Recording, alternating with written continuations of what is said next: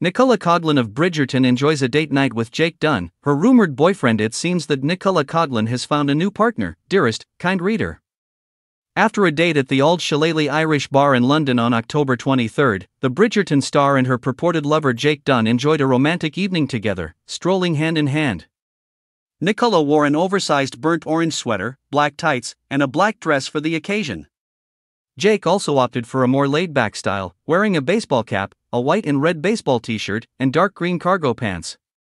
Jake's arm around Nicola as the couple walked down the street seemed to be deep in conversation, although neither of them has officially discussed their relationship. Nicola, 37, and Jake, 24, first raised suspicions when Alice Kremelberg, who co starred with him in Renegade Nell, shared a picture of the two of them on Instagram in June, according to pictures shared by DeuxMoi at the time. They then went to the All Points East Festival in London in August, where they were holding each other close.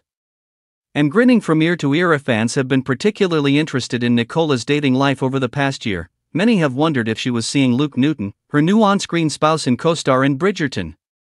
But Luke revealed his relationship with dancer Antonia Roumelioti soon after the third season of the show debuted. Furthermore, Nicola claims that her relationship with Luke has always been platonic. A lot of people really want me to marry Luke, she said in jest during an interview with Time that was released on October 16. We have this gorgeous friendship. We have such a love for one another in this experience that I'll never have with someone else again, the Derry Girls alum continued. The fact that a man and woman can have that kind of relationship is beautiful, isn't it?